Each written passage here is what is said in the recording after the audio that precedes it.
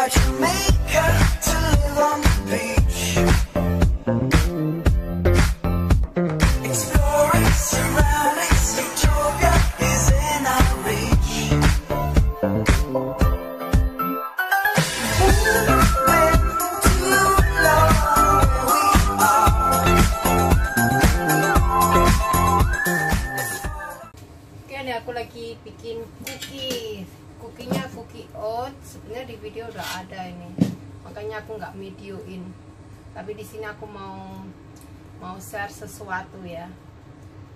Tuh kalau baca-baca komen di vlog, entah itu di vlog aku atau pas kebetulan itu pada pada gimana ya?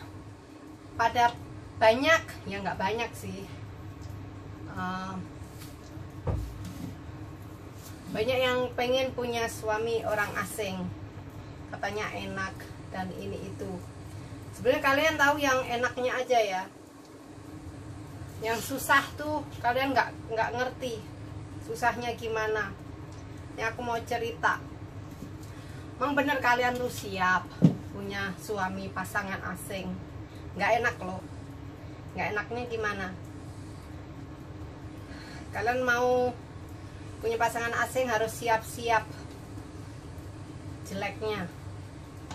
Kalian bakal diomongin di belakang. Memang kita bodoh amat ya kata orang tapi namanya bermasyarakat kan ya, ya kita hidup sama orang lain juga ya. Yang nggak hidup satu rumah masuknya di sekeliling kita kan ya ketemu orang bukan ketemu monyet kayak aku kan enggak nah kalau ketemu orang pasti diomongin tuh. Kalian siap-siap pasti diomongin di belakang gini gini gini memang di depan biasanya diomonginnya baik-baik kan. Kalian juga nggak tahu eh, omongan di belakang kayak apa ya. Bukan hanya di dunia nyata aja di dunia sosial media juga gitu. Jadi poinnya poinnya langsungnya aja ya. Punya pasangan asing tuh nggak enaknya ya. Muka muka orang bule itu boros borosnya gimana? Kita kan orang Indonesia mukanya tetap imut-imut ya apalagi bodinya kecil tetap awet muda. Terus kalau udah nikah berapa tahun gitu suami pasti tambah tua. Nah kalian siap? Dibilang oh suaminya tua. Kayak gitu ya. Padahal kita juga nikahnya juga muda namanya orang kan pasti tua ya. Banyak kok orang sini juga orang orang Hongkong di sini nikah sama orang bule Cina juga banyak eh tahu tanya udah tua. Banyak tapi ya namanya juga orang hidup nggak makan formalin ya lambat laun tua ya. Kayak aku nih sering dibilang suaminya tua. Padahal saya juga tua. Tapi kita waktu nikah juga muda. Yang kalian siap di diomongin oh suaminya tua banget. Udah kakek kakek itu anaknya apa cucunya? Kayak gitu. Terus kalau enggak eh, di kalau kita jalan sama suami pasti di jalan tuh diliatin loh. Kamu tuh badanmu akan disekan dari atas sampai apa atas sampai bawah tuh pasti diliatin ya. Diliatin. Tuh apa kayak kita lagi diseken gitu. Benar diliatin terus. Udah jauh tetap diliatin orangnya di depan kita mereka pasti noleh. Pasti gitu. Kalau enggak bikiniin oh itu perempuannya jelek banget kok bisa dapat bule gimana ya? Dapat apa itu?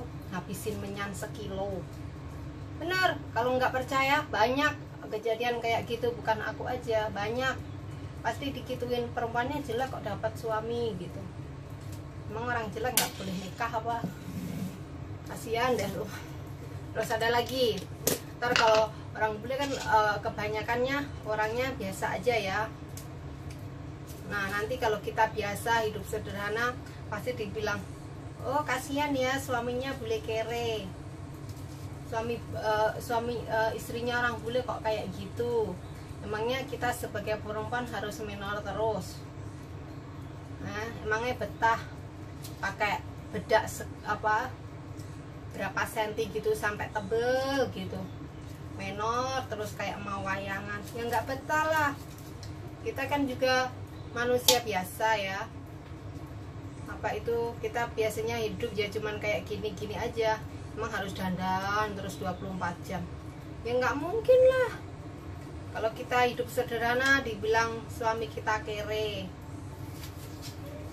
Dan macem-macem ya Nah. Pokoknya tuh punya pasangan asing tuh nggak enak. Ntar kalau kita dandan dikit dibilang norak kalau enggak oh mendadak kaya orang kaya baru.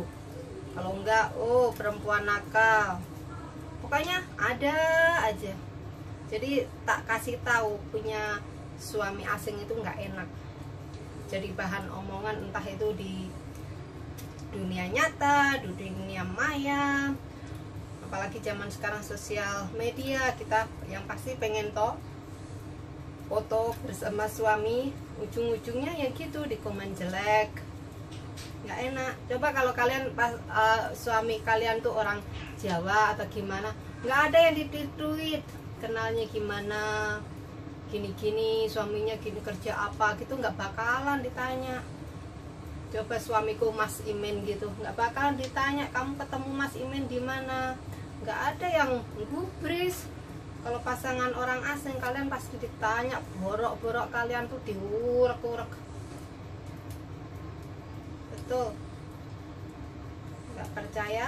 Tanya deh teman kalian yang punya suami asing pasti deh ngalamin.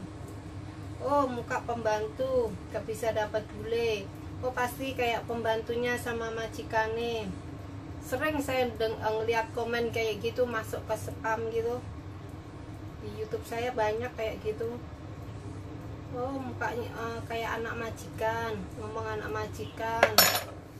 Emang kalian kuat digituin sama orang. Nggak enak loh punya suami asing. Tahu-tahu udah nih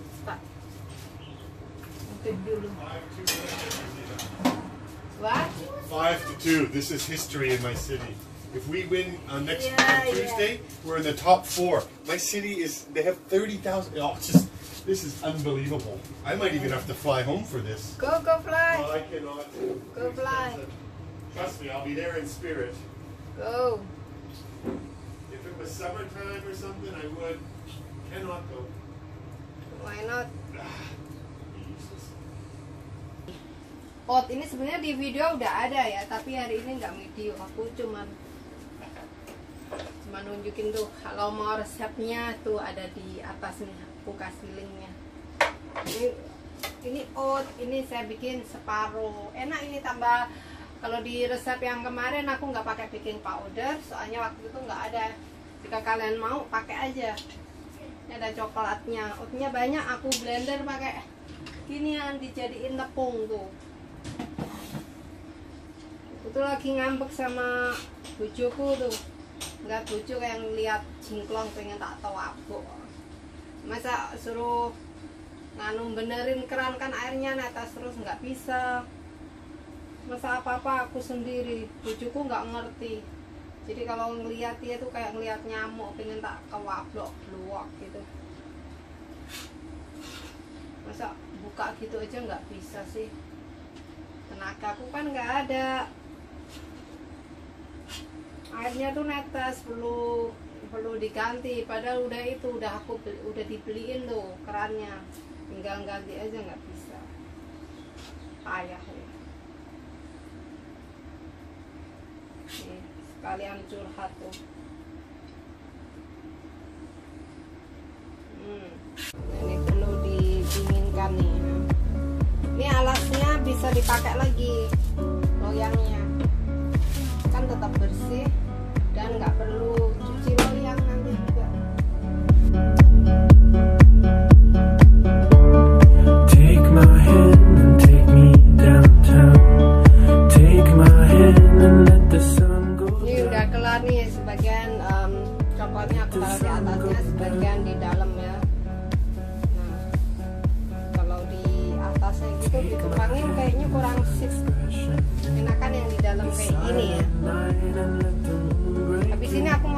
roti itu roti green.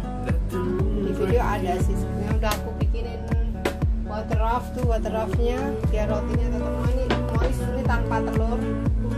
Keren deh pokoknya enak. Ini aku mau masukkan ke sini nih kayaknya kalau ditutup bakal enggak Ya, habis ini bikin roti. Bikin apa lagi ya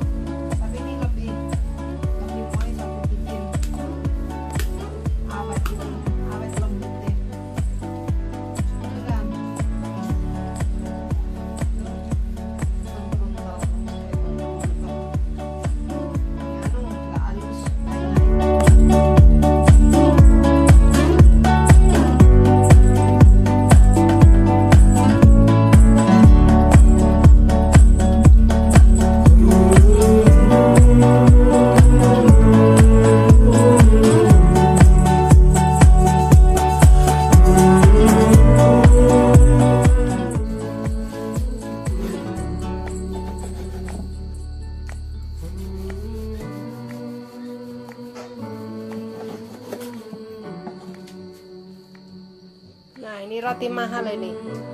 Roti mahal. Tuh Lembut kan? Tuh, Lembut sekali tuh. Tuh.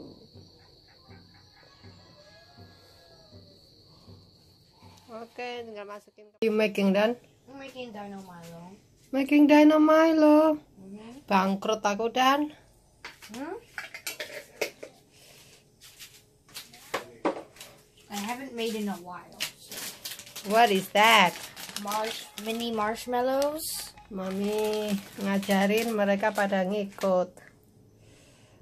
Kalau mereka bikin aduh.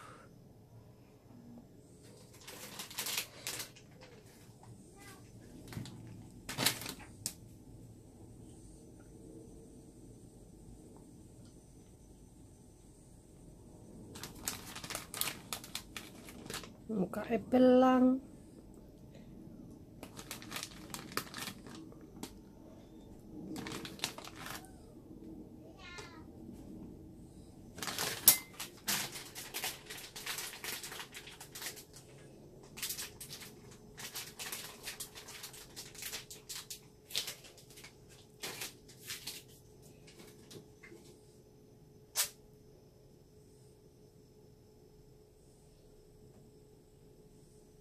I'm done.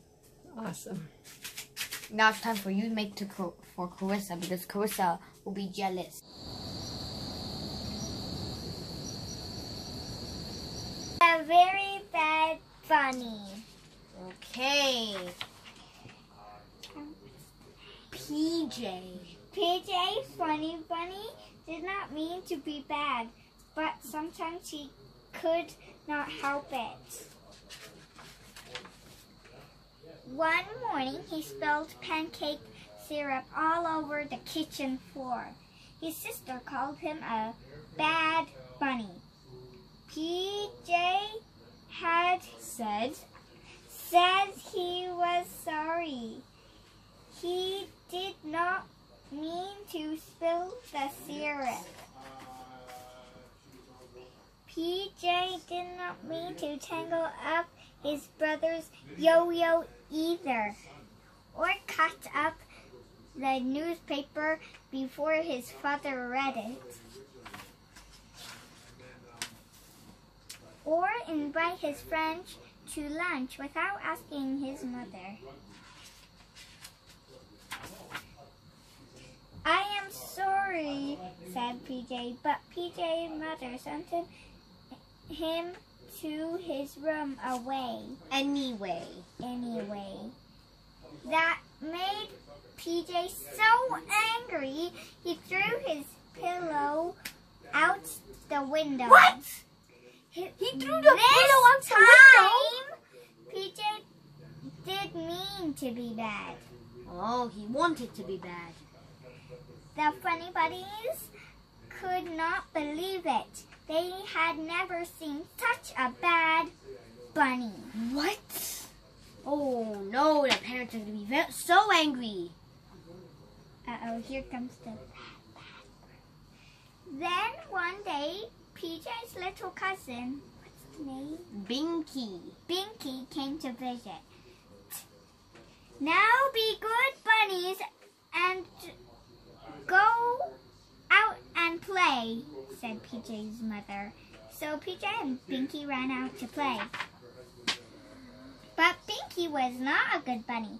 He threw PJ's best ball into the lake. Then he tossed PJ's cowboy hat into a tree and broke PJ's basketball Baseball bat. baseball bat. He even let go of PJ's balloon. Binky never once say he was sorry. Be nice, Binky, said PJ, or I will not play with you anymore. But Binky did not listen. He used PJ's crayons without asking and left them in the sun. Then he took the wheels off PJ's bike. That does it, said PJ. I am taking you back to the house. But Binky was just as bad in the house. First, he glued all of PJ's checkers together. Then he ate the last cookie in the cookie jar. Then He painted. he painted bunnies all over the living room Wall. He put his bubble gum on a chair and he locked everyone out of the house. What? Naughty bunny. The funny buddies could not believe it. They had never seen a, such a bad bunny. Finally, it was time for Binky to go home. Everyone was so happy to say goodbye to him. Now that was a very bad bunny, said PJ. And and though the funny bunnies had to agree. That's the end. And Muslims will not let.